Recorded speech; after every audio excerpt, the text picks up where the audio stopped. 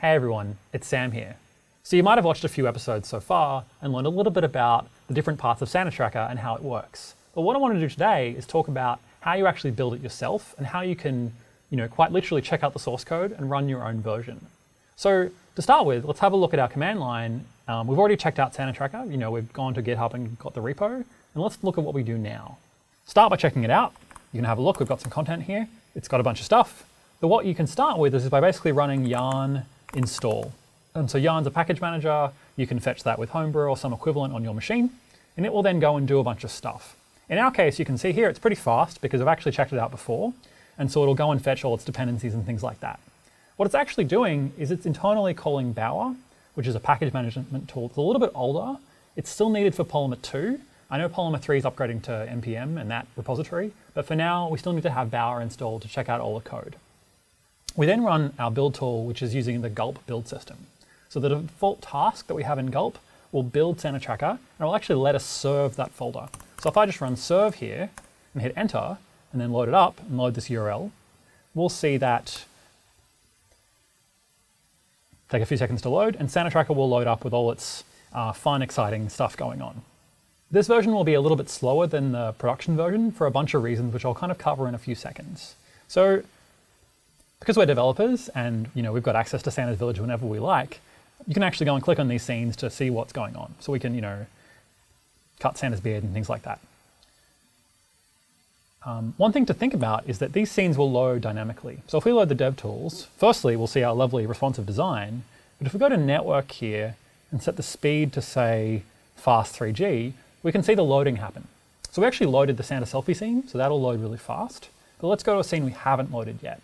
So this might be the gift slingshot.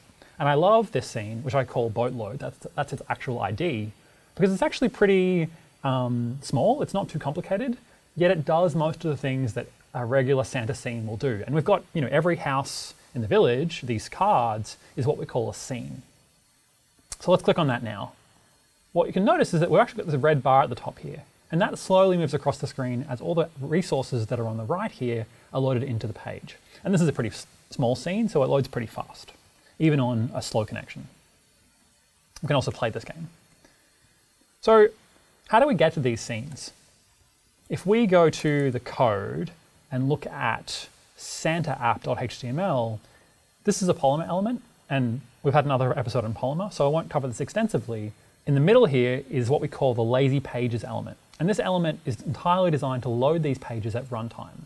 So interestingly enough, um, these scenes aren't on the page when you load Santa Tracker. These are essentially unknown HTML elements that your browser doesn't know how to render. What Lazy Pages does is that when the route changes to that URL, when we want to load the boat load scene, for instance, it then goes and finds, okay, here's the boat load scene.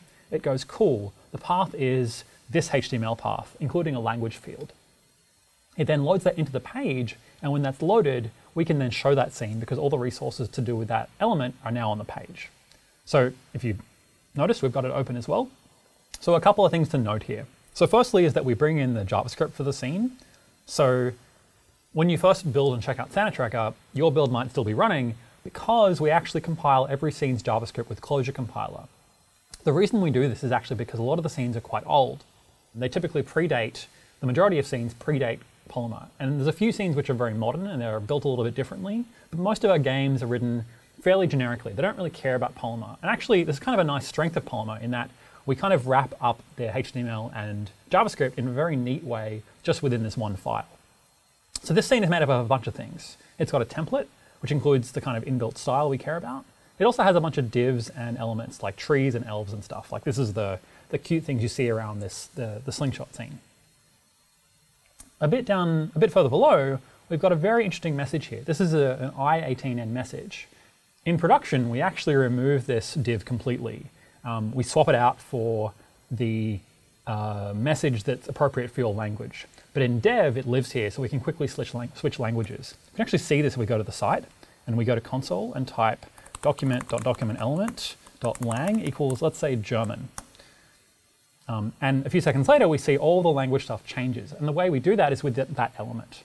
But in production, we've actually got rid of that element completely. If you're curious about how we do that, you can actually load up the gulp scripts the replace script here. And so if you have a look around, what we do is we actually load each page into memory, which is this mutate function here, and we do regular query selectors. We say, so for everything with a message ID or everything with a uh, of this tag name, okay, this actually is the wrong, oh, I see, because each message has that message ID, so we catch it here first. We'll actually replace the content of that message ID for that language. So that's kind of cool. That's part of our build, process as well. And so finally, let's talk a little bit about gulp. So I mentioned earlier that we use gulp to build stuff. We can also use gulp to serve things. So if we type gulp serve here, we'll actually see it'll do the same thing. It'll do this default compile step, which yet again is happening pretty fast for me. And then it'll actually run a web server. So this is the kind of the best way to run it and test Tracker yourself. And this serve command as well will also do auto reloading. So if I change something, let's say I change this boatload scene to have some text just somewhere, hello, then what you'll see is this page will automatically re reload. And actually, we weren't even on that scene, but if we load it up, you can sort of see that text now appearing there. Oh, there we go. Very subtly in the corner, there's a hello. So hopefully you've learned a little bit about the way you can build and test Santa Tracker even on your own machine. So Santa Tracker is a big, complicated, single-page application. It really has one entry point, and then it loads these individual scenes as we need them, which is super interesting in itself. If you want to learn a little bit more about that, and also build instructions of how to run and build Santa Tracker, there's some links below.